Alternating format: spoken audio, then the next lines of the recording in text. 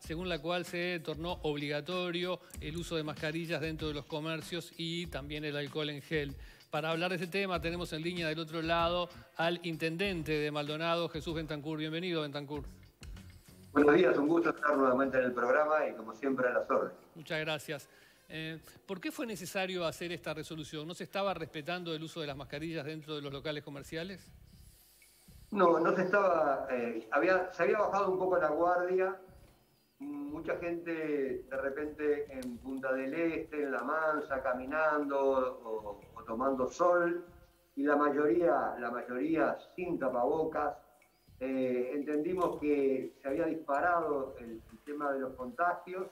Nosotros estamos eh, a días de una nueva temporada turística, de un nuevo verano, y evidentemente en, al departamento de Maldonado como departamento turístico, se nos escapa de las manos el tema de la pandemia, evidentemente tiene varias facetas importantísimas y, que nos significarían enormes retrocesos.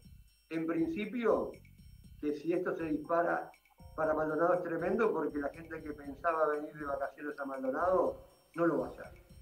En segundo lugar, toda la cantidad de gente que tenemos hoy en Maldonado, ya que tenemos más de 15.000 personas que están viviendo acá y que pertenecen a países como Argentina, Brasil, Paraguay, algunos europeos, lógicamente que si nos transformamos en un foco tampoco se van a quedar acá.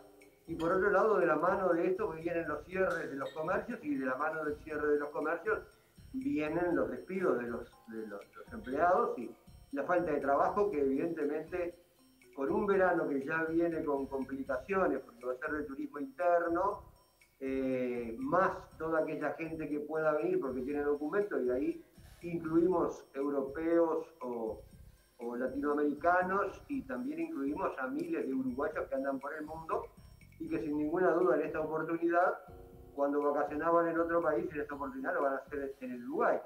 Entonces tenemos que tener claro que cuidar la salud del departamento de Maldonado es cuidar al país y a nosotros nos va la vida en este pueblo. ¿Se, puede decir que hubo un quiebre entonces este fin de semana en, la aplicación y en el control de, las medidas recomendadas para, para la pandemia?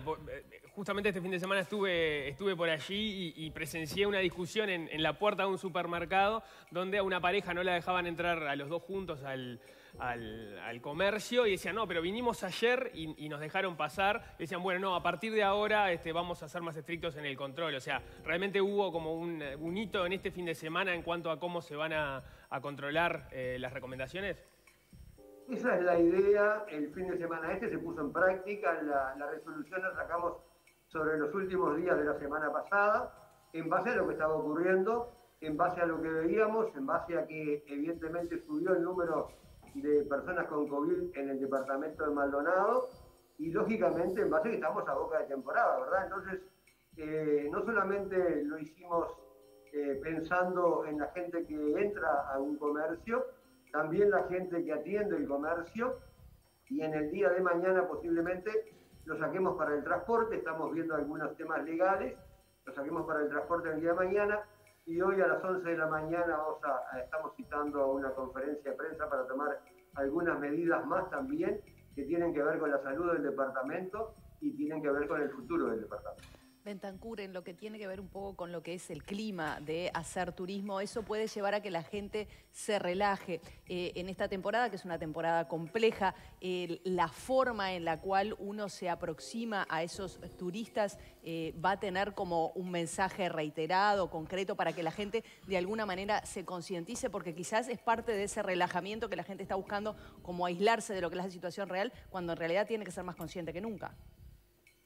Es cierto, claro que sí. Eh, en definitiva, la gente con, el, con la llegada del calorcito ya piensa que el COVID se desapareció y que bueno, vamos a la playa, vamos a disfrutar, vamos a tomar unas vacaciones, vamos los fines de semana para Punta del Este, para, para Piriápolis, para José Ignacio.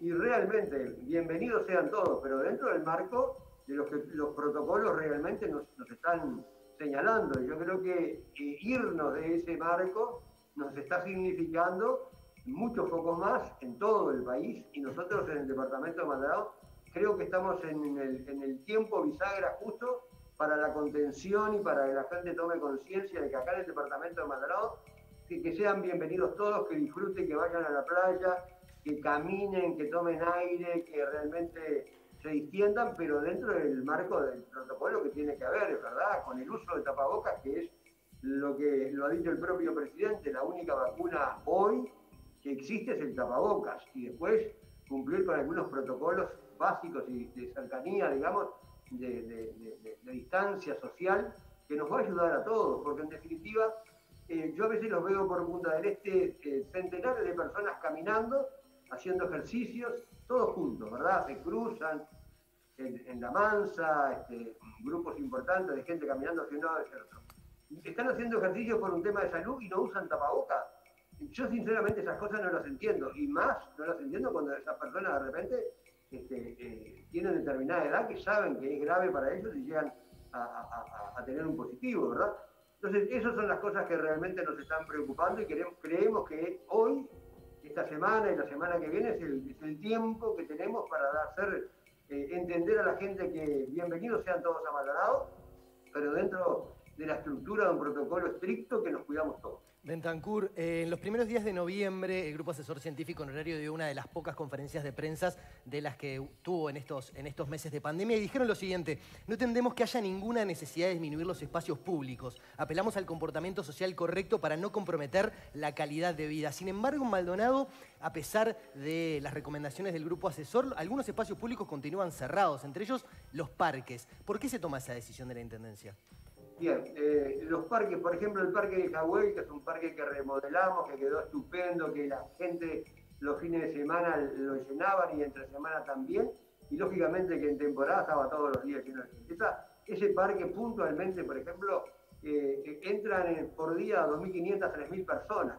O sea, padres con sus chicos moviéndose de, juego en juego, este, eh, sin la posibilidad de nosotros de limpiar los juegos entre entre, entre que entra y sale alguien, porque son eh, dos, tres mil personas que hay permanentemente allí usando los juegos y, es imposible. Pero si decimos, bueno, van a entrar 300 personas, nosotros sabemos que afuera del parque, en, los espacios alrededor, va a haber 2.500 personas que son incontrolables también. Entonces, en esos casos, veremos de qué manera vamos abriendo algún parque este, y con qué protocolos como para que no sean realmente un elemento distorsionante de, lo que nosotros queremos. ¿Y eso cuándo, perdón, cuándo se va a tomar esa decisión? Porque en realidad, de alguna manera, aumentar el número de espacios públicos descomprime, por ejemplo, la Rambla, que los fines de semana se satura en, en Maldonado, sobre todo en Punta del Este, y generar esto quizás sí podría generar alguna aglomeración concreta, pero se podría como controlar por parte de los guardaparques o generar algún protocolo en ese sentido y descomprimir un poco la situación en algunos espacios públicos. Eso no se está considerando.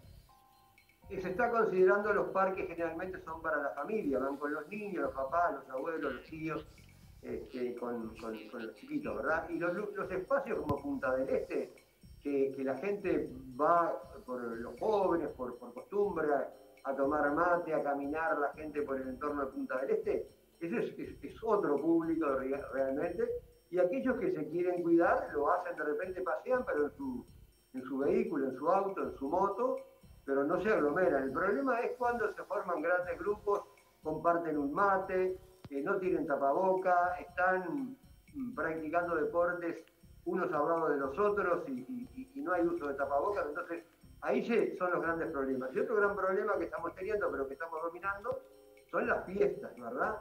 Fiestas que realmente no tienen permiso de la Intendencia ni del Ministerio de Salud Pública y que eh, de un, se, están contactando a través de las redes y de repente media hora antes de la hora dicen el lugar donde es. Nosotros tenemos varios equipos ya conformados por gente de higiene y del Ministerio de Salud Pública, junto con jefatura de policía, para ir directamente a esos lugares, este, retener los equipos de música, eh, si es necesario pasar a la salida. Esas son las... forma de tratar de que no sucedan estas cosas porque en definitiva son las que están causando más daño y lo vemos a diario en todos los informativos. Claro, pero entonces en concreto no hay una fecha para, porque la, la temporada de verano es apremiante, no hay una fecha concreta para reactivar los espacios públicos en Maldonado en ese sentido, los que no, no, ya algunos lo hemos activado, ejemplo del Parque Lucich, lógicamente con un protocolo. posiblemente sobre el 12 de diciembre se abra Pueblo Gaucho, y, en, esa, en esa medida y siempre con un orden y viendo cuál es el resultado, iremos abriendo paulatinamente. Eh, pero se están, ¿cómo es el asesoramiento en cuanto a, tomar esas medidas? Pensando en lo, que, en lo que planteaba Facundo recién, en realidad la recomendación por parte del GACH ha sido, eh, en realidad, todos los espacios públicos usarlo lo, más posible, porque los contagios en los espacios públicos son eh, ínfimos en relación a los que ocurren en, los espacios cerrados. Y, si pensamos en el Jagüel, por ejemplo, también en los niños se demuestra que se han enfermado menos, la situación termina siendo menos grave y también contagia menos. Entonces, en ese sentido, ¿cómo, cómo lo está manejando la Intendencia a nivel del asesoramiento? Y en esta semana pasada eh, estuvimos manteniendo reuniones para ver algunos protocolos y evaluarlos por el Ministerio de Salud Pública. Y, yo creo que el gran espacio público que tenemos nosotros son las playas, ¿verdad? Esos espacios indudablemente son los que tenemos que cuidar también con la distancia social, pero esos están todos abiertos. Tuvimos en algún momento que cerrar las playas, ustedes lo recordarán, pero en este momento este, están todas las playas abiertas, nosotros tenemos 100 kilómetros de playa, lo que tenemos que ver es cómo las cuidamos, cómo contenemos la aglomeración de, gente, digamos, en determinadas playas, pero lo estamos haciendo, digamos, de una manera coherente, ¿verdad? Nos hemos reunido con, los administradores de los edificios, con, quienes representan, digamos, a los, a los, restaurantes, eh, a las inmobiliarias, para que cada uno desde su lugar tenga, digamos, un, funcionamiento que prevea eh, con sus clientes de, manera de que, estén aconsejándolo de determinada forma de cómo comportarse en determinados espacios públicos. Y creo que ese es uno de los, de los temas que, es de boca a boca y que evidentemente vamos a tener que usar mucho independientemente de todo lo que es a través de la prensa, ¿verdad? Intendente, eh, eh, muchos de los extranjeros que llegan a Uruguay, argentinos, pero también de otros países, el lugar que tienen de residencia o donde van es a Maldonado. Eh, ¿Están cumpliendo la cuarentena? ¿Lo pueden controlar? ¿Tienen los recursos para hacerlo? ¿Cuál es la, experiencia que han vivido hasta el momento? Bien, nosotros en realidad como Intendencia no tenemos la posibilidad de hacerlo, pero sí lo que vemos es que eh, muchos extranjeros entran con un hisopado negativo y a las 48, 72 horas están dando un positivo. Ahí estamos viendo que hay algo que no está bien. Esos hisopados que, por los que entran mucha gente no son realmente verdaderos. Por otro lado, eh, muchísimo que entra, gente que entra deja sus valijas en el departamento, en, la casa o en la chacra y sale a hacer compras, a, almorzar, a cenar. Y, eso lo vemos permanentemente y está, haciendo este, mm, denunciado por, por la gente de los edificios, administradores, por los propios vecinos que ven que llega alguien del exterior, deja sus cosas y sale. De manera que nosotros eh, hablamos en la semana pasada sobre el viernes con el ministro del Interior para que nos permitiese hacer con jefatura de Maldonado un, pool de acción, digamos, eh, acompañado también lógicamente por, por el Consejo del Ministerio de Salud Pública, para salir la Intendencia con jefatura de policía, que es el Ministerio del Interior, y son las únicas personas autorizadas a pedir documentos a golpear, digamos, para pedir un documento en un departamento, para, para ya armar equipos en, en esta semana y salir a, con, con, la declaración jurada por la cual entra al país toda aquella gente que venga a Maldonado, Punta del Este, Piriápolis, este, José Ignacio, todo el departamento de Maldonado, tener equipos para ir a constatar si realmente están en el lugar, si están haciendo la cuarentena o no. Y de lo contrario, ya directamente Jefatura de Policía comunicaría a Fiscalía la falta de esa persona en determinado lugar, porque hay una declaración jurada que evidentemente tiene un, valor. ¿Hoy no tienen esos equipos todavía funcionando con, el nivel que necesitarían? Eh, no, porque ahí lo, hace este, la, la, jefatura de policía, tendría que hacerlo, ¿verdad? Nosotros lo que le vamos a poner a disposición son funcionarios municipales y vehículos este, que, lógicamente va a ampliar la posibilidad de llegar a, muchísima más gente. Entonces, de esa manera, indudablemente vamos a, controlar a esa gente que entra y que no hace cuarentena. Y después, digamos, con las consecuencias que jurídicamente tengan aquellos que no lo hacen. Perdón, yo quiero insistir con esto, Bentangú, yo sé que nos está, se nos está acabando el tiempo, pero eh, me llama la atención que sea tan discrecional el tema del- de los espacios públicos, de- considerando no solo la- las recomendaciones del GACH, sino también lo que ha, desde el Poder Ejecutivo ha recomendado de la, de la libertad responsable. Acá es, como tenemos miedo que no seamos responsables, cerramos los espacios públicos, cuando tendría que ser la lógica al revés. Tendríamos que abrir los espacios públicos y apelar entonces a la libertad responsable de la gente. ¿No cree que debería ir por ese lado? Lo estamos haciendo en la medida que vemos que hay cumplimiento. En- en- cuando hicimos la prueba con el Arboretum de Lucid, con un protocolo, con determinada cantidad de gente que pueda entrar, en definitiva nos está dando resultados y lo estamos haciendo. Nos consultaban por la isla de Gorriti. Yo entiendo que con la distancia adecuada entre, las, entre la, la gente que, que viaja en las embarcaciones y un cupo se va a poder hacer, evidentemente. Lógicamente que hay algunas cosas que son más peligrosas, te hablaba del pueblo gaucho, que ya tenemos un protocolo como para que abra el 12 de, de diciembre. En definitiva, espacios públicos acá quedan muy pocos sin abrir, salvo el Jahuel, que evidentemente es el más peligroso de todos, pero, pero en definitiva se van abriendo. Jesús Bentancur, intendente de Maldonado, muchas gracias por esta entrevista y suerte en esa tarea. A las órdenes, como siempre. Muchas gracias a usted. Pase bien. Y nosotros